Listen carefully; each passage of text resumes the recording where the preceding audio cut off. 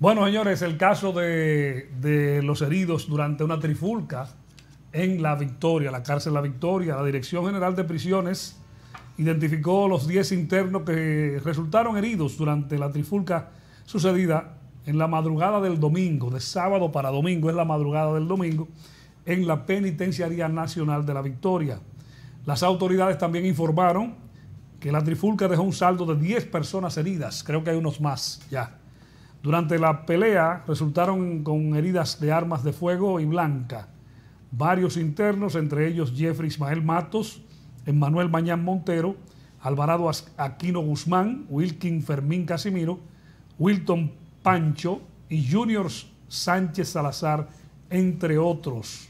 Estas situaciones que se dan en las cárceles en este país, señores, puede verse en muchísimos de estos países de América Latina, pero aquí en República Dominicana yo siento que los, estas trifulcas en las cárceles son como muy comunes. ¿Te has dado cuenta?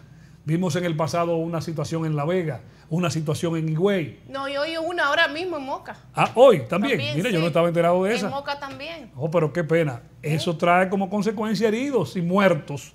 Es ahí un ejemplo. Dos personas en la mañana de hoy, una trifulca también en la cárcel de Moca. Está en el centro penitenciario nuevo, la isleta de Moca también sucedió. Y tiene mucho que ver, tal vez en el caso de Moca no tanto, porque sabemos que es un centro penitenciario más moderno, eh, nuevo, por decirlo así. Del nuevo modelo. Eh, la victoria también fue ampliada, fue renovada en, cuando estaba como procurador Jean Alain Rodríguez, pero sí, la victoria sigue siendo lo mismo. Muchas personas que están ahí internas, ¿eh? Y no es la capacidad de ese centro. Sobrepoblación. Entonces hay una sobrepoblación de los presos, de los internos, y usted sabe también lo que esto puede eh, provocar. Que a propósito de la victoria se habla, los familiares dicen, el denuncian, y eso yo creo que siempre se ha sabido aquí en el país, no ahora, sino de siempre, complicidad entre los internos y también los mismos, las mismas autoridades oh, de esta cárcel. Ellos dicen por qué introducen las armas de fuego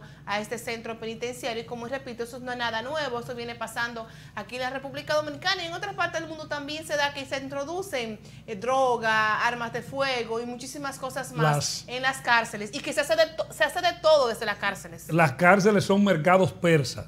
Para usted estar más comodito, siendo usted un privado de libertad, un preso, usted tiene que pagar unos cuartos. Yo conozco un caso de alguien que tiene que dar 6 mil pesos semanales para poder estar un poquito cómodo. Semanal. Semanal para tenerlo. entonces, si usted calcula eso, serían unos 24 mil pesos mensual. Pues paga más que un apartamento. Pero que eso es un mercado ahí dentro y las autoridades lo saben. Con eso no hay, no hay quien pueda. Eso es como el mundo del narcotráfico y el microtráfico. Eso es un mercado persa. Todas las cárceles de este país.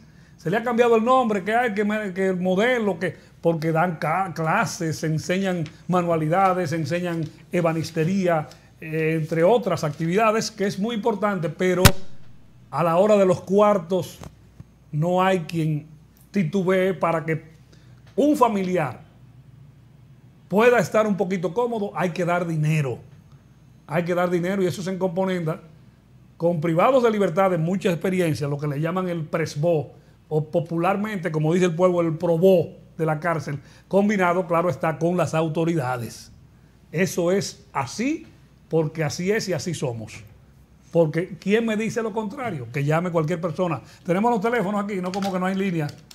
Ayúdanos, ayúdanos, ahí, Mello. 809-226-3353 y el 809-494-5315. Este último nos pueden llamar a través también de WhatsApp, como directamente, y dejar los mensajes, tanto escritos como las notas de voz las pueden dejar a través del 809-494-5315. Y sigue la controversia, el dime y direte del Ministerio de Educación, de la ADP, del Colegio Médico Dominicano. Todo esto lo que tiene que ver con la educación en la República Dominicana, donde el pasado martes el Ministerio de Educación anunció de que iniciarían las clases presenciales. La ADP, por su lado, se ha negado a estar presente en las escuelas.